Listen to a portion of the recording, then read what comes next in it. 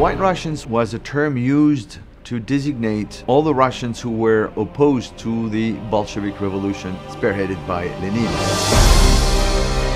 The Bolshevik had adopted the color as red, and so by opposition to the red, white. There also, the Imperial Russian flag was white and with a double-headed eagle. That was uh, the Tsar's flag.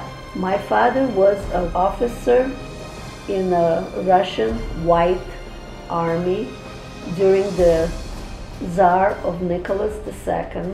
Revolution came to Russia.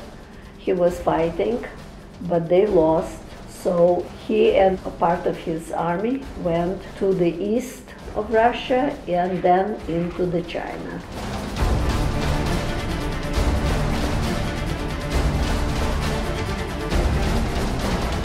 Shanghai at the time was labeled as a symbol of Western capitalist decadence. And culturally speaking, Mao Zedong was quite keen to sort of eradicate this inheritance from the past. In that course, at the eve of the entry of the Mao Zedong Red Army into Shanghai, these people were not going to be able to live peacefully under this regime. We heard how terrible it was for the White Russians they were taking them to Soviet Russia. And some of them, like in the case of one of my uncles, he was shot. So when we heard that the communists are coming, straight away we got to go, leave everything.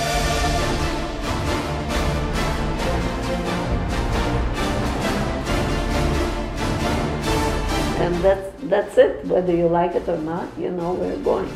And Mr. Bologov was in charge of the Russian Immigrant Association. Bologov, I understand, was a very flamboyant ex-Tsarist officer.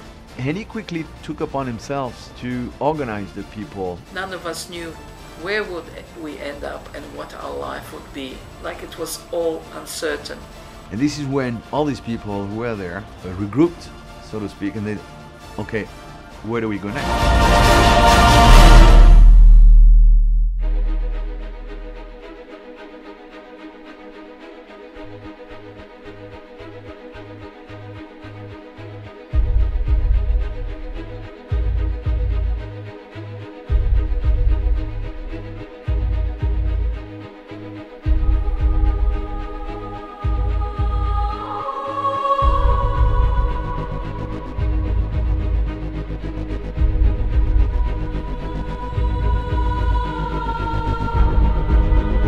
These people had no consular representation. They had no one to turn to. And as we've seen, various communities among them, not only Russian, so it was not a monolithic bloc. They were all Russian speaking, they were culturally Russian, but my goodness, we had Ukrainians, we had Estonians, we had Jews, we had Gypsies. Tartar from Crimea, Latvians. There were also some of Armenians and Georgians. Czech, Poles, Hungarians. We even had one family of Hindus. Nonetheless, the IRO was approached by the leader of the so-called White Russians, Colonel Bologov, saying, save us. So the IRO launched an appeal and the countries were busy with their own reconstruction. None of them replied to the call of IRO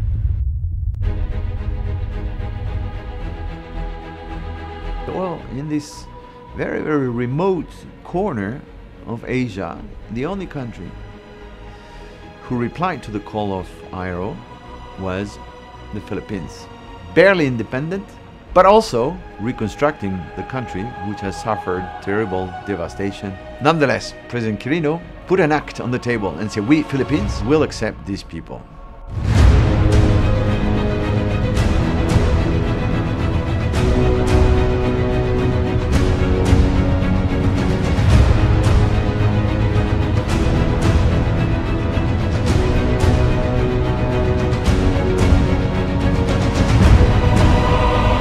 Appreciate the political significance of such an act by the Philippines under the leadership of President Quirino, who grant asylum to a group of people in need of international protection.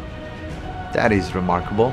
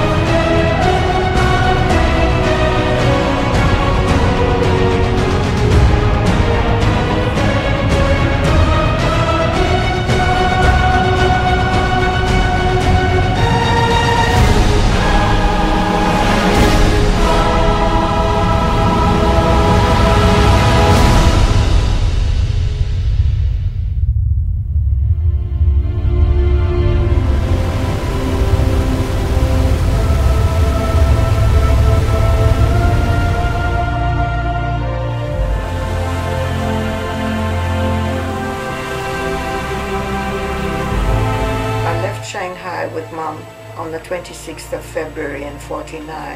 And I don't know how many days it took on board the ship, probably about six days or so. Itatay kwan manggod ang newspaper, makanikunot mga Rusya na tubabaw.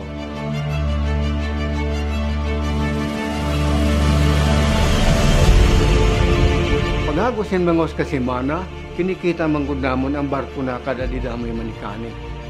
Nga, karga na adto ng mga Rusyan.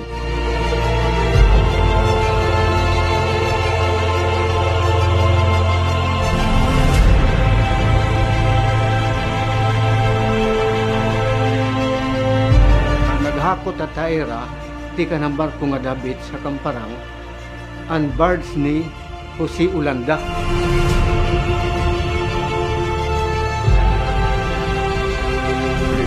up on a PAL flight, and luckily enough, I got a seat by the window.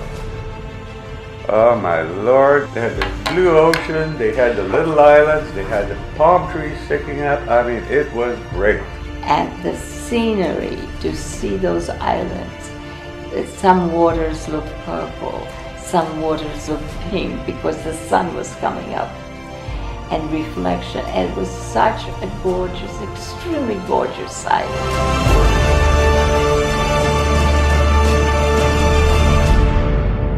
in a very pragmatic Filipino spirit, the decision makers at the time said, Oh, sige, we've got the old hospital structure on the island of Tubabao, which was built by the Americans for the landing operations. Well, instead of having this structure go to waste, we might as well recycle it into a refugee camp.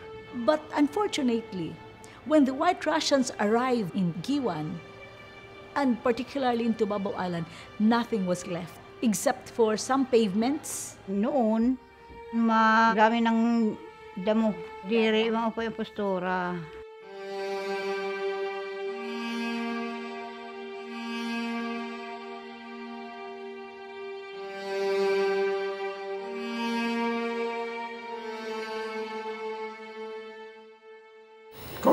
Was more difficult, you know, because the living conditions in the, tent, and they gave us all those army cots, you know, to sleep on. Quite a shock after living so many years in the cities, you know, you had to come and live in tents, you know, in the middle of nowhere. It was a shock because we didn't know what to expect, especially these people that arrived two weeks before. In two weeks, you see somebody in shorts and some of them even no shoes at all. I was like, "Oh, what's happening? But, you know, they didn't wait passively to say, we're waiting for a refugee camp for us. So they built it themselves. Clearing up the bushes, the jungles, leveling the ground, uh, and so on, with support from Filipino communities around them, support from the Philippine government. When we got the, to the tent, the grass was up to your knees, so you had to pull out all this so that you could put the cot into the place and put your belongings in. My father and I went into the jungle and cut some um, reeds, and we built a fence around our tent. Privacy. When you need to do things, you, you find a way. No big deal, you know. There are a lot worse things in this world, you know. Soon we got used to it. We were happy that we were safe. When you think about it, they lived in Russia and then they moved to China and they had already lived there for 25 years or more. And then they had to be uprooted again. And here they were living on an island where they didn't know is this going to be the rest of our life or what's going to be the next step? I think, irrespective of that, they were happy, positive, looking forward people. As my father always said, as long as you have life. That's what I learned. You had to get accustomed to a different kind of life. And for the elderly people, it was difficult. For us youngsters, we took it as a holiday.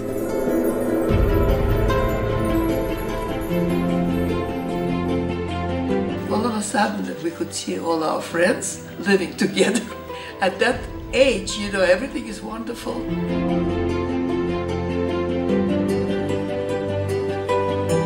Love the scenery. I love the sunsets. Every day it was different and very glorious and beautiful. Our tents were right in the jungle, and you could smell the beautiful flowers at night. So strong. It was just exquisite. I would say it was very well organized because everybody had a job over there. Most of the stuff was taken care of by our own people. Engineers who rigged up a couple of uh, motors and provided lighting for the entire camp. My father became a policeman, and all the teenagers, like my age 15, we had assignment to take care of small children. My uncle, he was advanced uh, engineering group that came to Tubabao in January, and they built a dam for our water supply. My dad was assigned to go on the water truck. There were about three or four guys.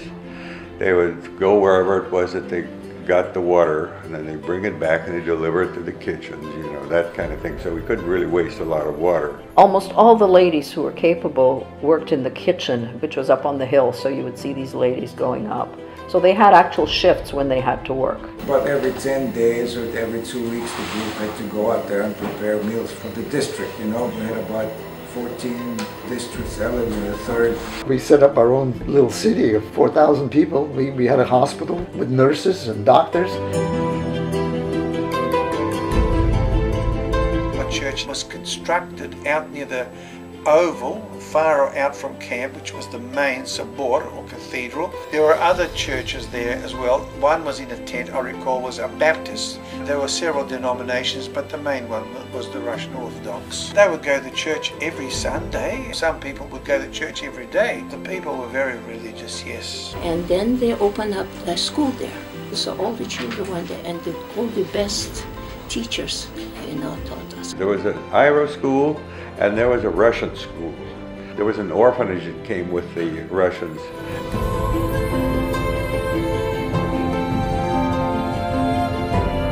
Bishop John is coming.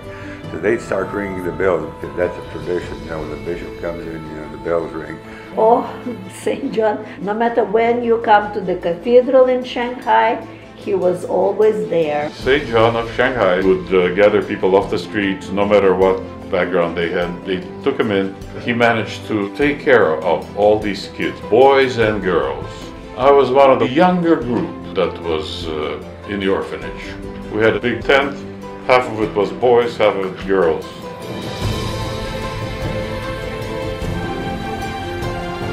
President Elpidio Quirino came to the camp and uh, you know, the band met him with uh, nice music. It was President Quirino and according to them, his daughter. I remember that we had an artist over there that made a, like a thank you memorial with all the signatures of different group people as a thank you for him.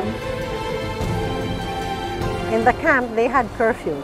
They were not free to go in and out of that camp all the time and the president decided take down the fences, you know, and that was uh, meaning that you're not in the camp.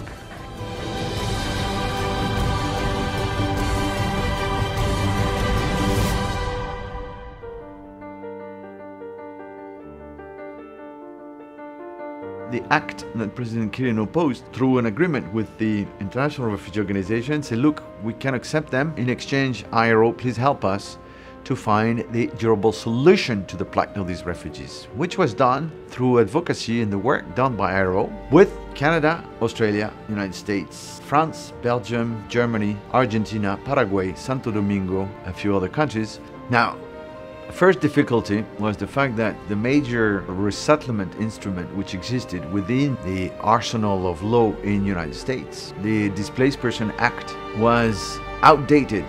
For instance, prohibited persons who came from countries who were deemed as unfriendly to the United States to be resettled. So, white Russians were technically, from a nationality point of view, were coming from Russia. So, therefore, at the beginning, they were not eligible for resettlement. They didn't want to accept us because we were not under the DP bill. They tried many other countries. Nobody wants a bunch of 6,000 Russians.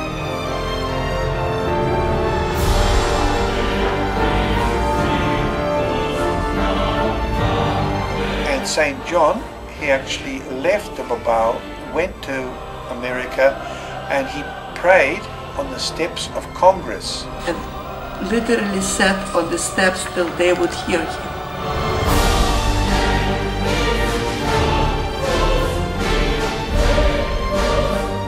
Until somebody noticed him from the American Congress and said, What are you doing here?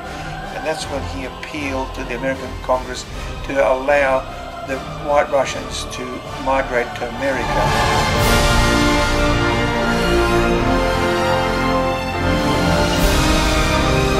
Senator Knowland arrived at the camp in November of 1949 and he gave promises that people can actually enter the United States of America through the Displaced Persons Bill. Generally, they were very happy that Senator Knowland was there and that he was actually looking into taking them in.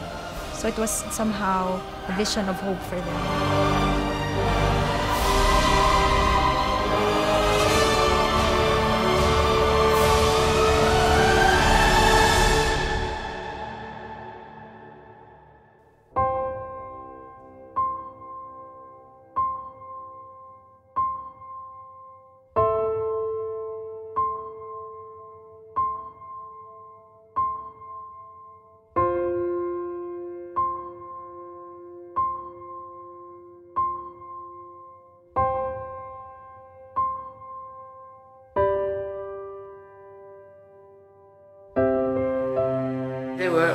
Few artists there and they used to regularly go and paint.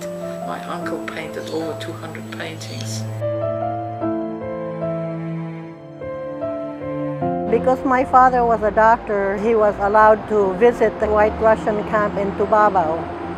And through his work with the White Russians, he invited some people that he knew in the camp over to our house. They used to come to the house once or twice a month on a weekend.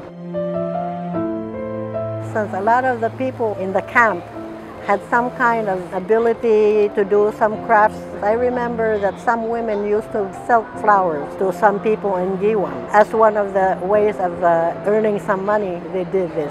Pag nagkakasalubong kami, galing ako sa eskwelahan, sasabihin sa akin, Dabi Regen, sasabihin ko yan, give me bread, I will give you flower.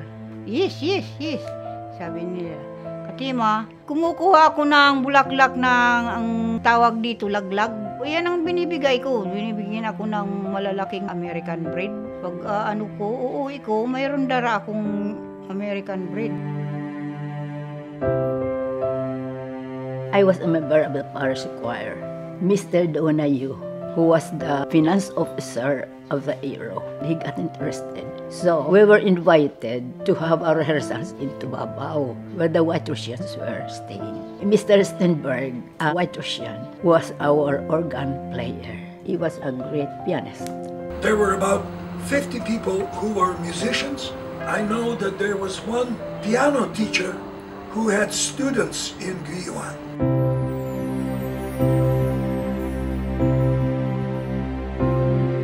Nasa katlong baitang ako ng babang paaralan nang mag-aral ako ng piano sa kay Professor Walter, isang Russian refugee.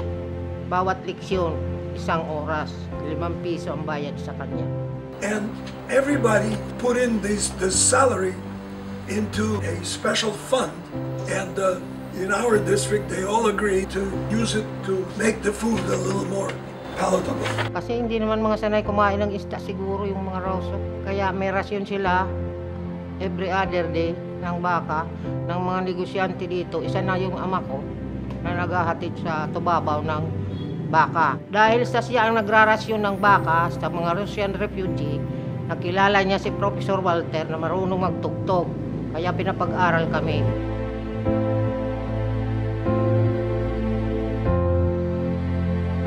Madame Karamsin was the third piano teacher that I had in Guiuan who taught me a lot. She was the one who uh, taught me more about piano than anybody else.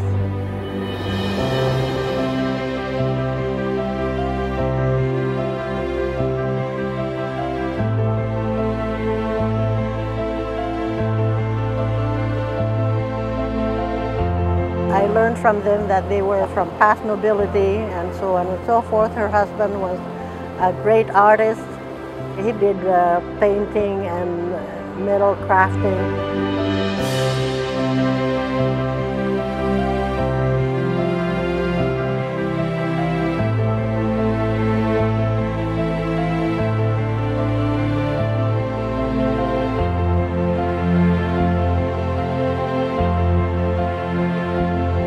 They always came whenever we had parties in the house, we had picnics. In fact, they were almost part of the family for us. And when I had my 12th birthday, she decided to give me as a gift, wrapped up in a little handkerchief because she couldn't afford anything else to wrap it up in, was a ring, pearl ring that she had owned since she was a young lady from Russia, which I kept for many years. And this was the type of relationship that we had with these white Russians. During our graduation, Mr. Stenberg also accompanied our graduation song. We also invited some female white Russians who had choral rendition to the great applause of the audience.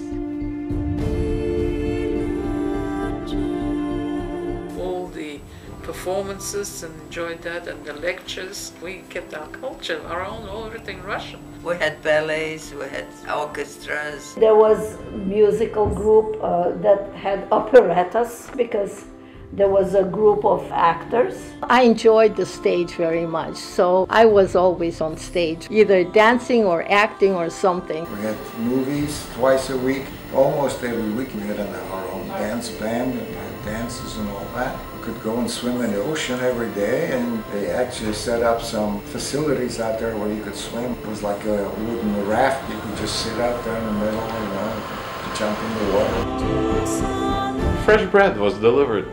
Nice bread from Guiuan. And then uh, people would line up with the army mess kits. And if we didn't eat it, it would spoil, so we would trade it. One time I got two loaves of bread and I went down to the village and I talked to some guy. He had a canoe and I said, hey, can I use it for a while? You know, I'll give you bread. That's when I discovered fishing in the sea. Oh, that was great. This was how the life went on.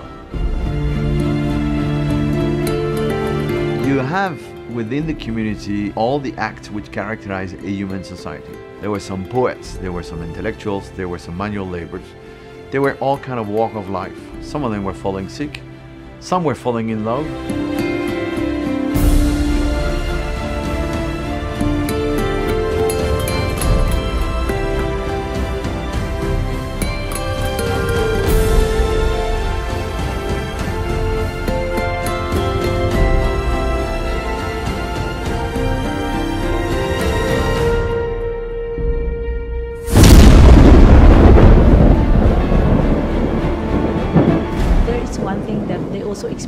Experienced in Guiuan, a very big typhoon.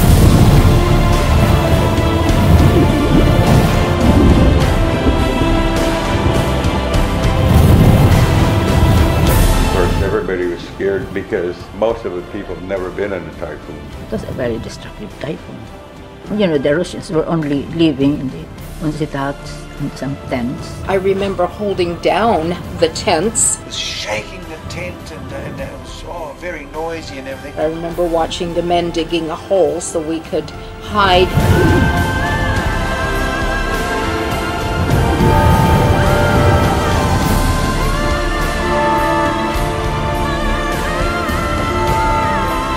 And St. John prayed and prayed and prayed. Bishop will go around and uh, he will cross all the sides. Apparently, his prayers were successful in turning the typhoon.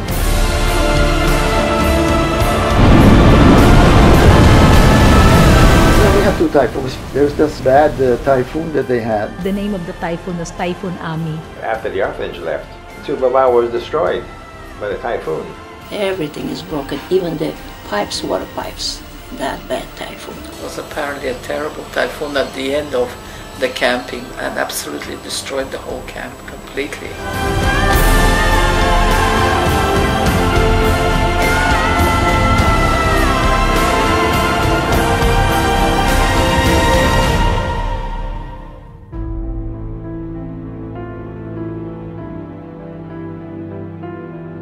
It destroyed the bridge constructed by the Americans connecting Guiuan and Tubabao Island and also their tents. Some of them got sick after the typhoon and they said uh, it was really a difficult life.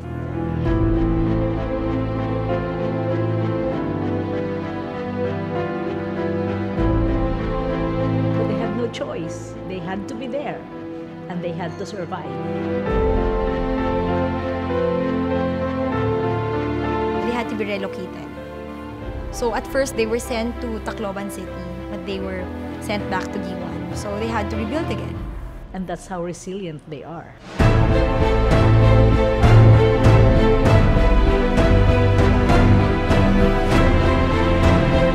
The best part about that were the memories of togetherness. It was a very important feeling to be having this togetherness that we are unit, you know, and we've got to fight it and enjoy the life meanwhile.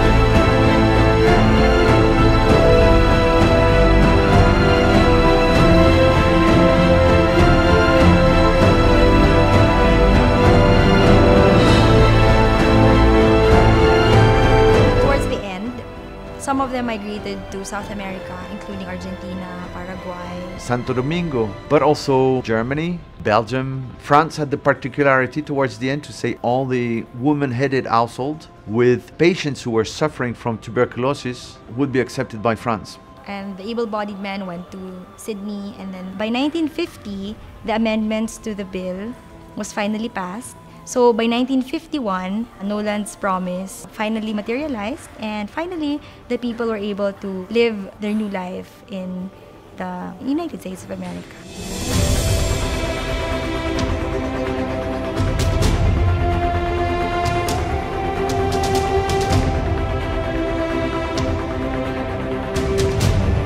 And indeed, on the ship that we came on here, the Marine Jumper, we disembarked in Sydney whilst others continued on to Uruguay and so on, South America.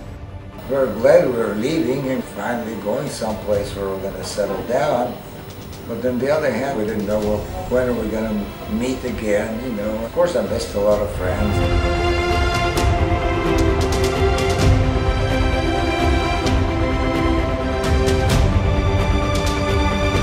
even if they were young at that time they understood what it meant for someone like President Quirino to save their lives so they tell it to their children and their children's children and even to this day they're very very grateful he was a savior for them a hero for them The whole Russian community on Tubabao owes tremendous thanks to President Quirino. Well, I'd like to thank him for letting us spend time in the Philippines. Thank you for them to give us place to stay. I'm grateful for the experience. I'm grateful to the Philippine people. And there's lots of good things and lots of bad things, but we persevered. It was better than any pirate movie I've ever seen before, you know. When you're young, you don't think of the rest of your life. You just live everything's beautiful, sunshine, moonlight.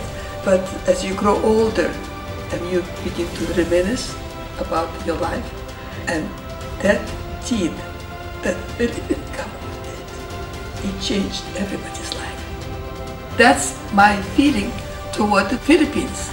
Forever grateful. Forever grateful.